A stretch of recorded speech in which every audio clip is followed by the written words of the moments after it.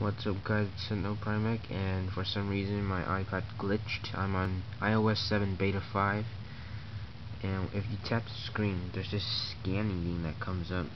This could be a prototype of the fingerprint scanner rumor that's been going on around about the next generation iPhone 5, and somebody discovered it in the iOS 7 Beta about some kind of fingerprint device that can be implement it into the next iPhone.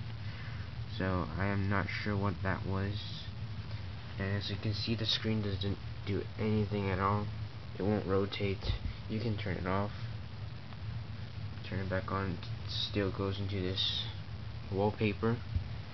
But if you touch your screen there's this scanning there's a scanning thing going on and you touch it just stops, gives you one line.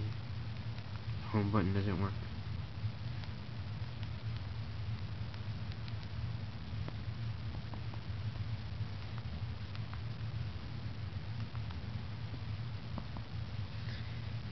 It's quite weird.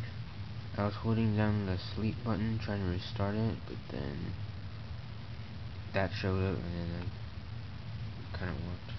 So the only way to do this is hold the home and sleep button to do a hard reset, but thanks for watching and subscribe for more.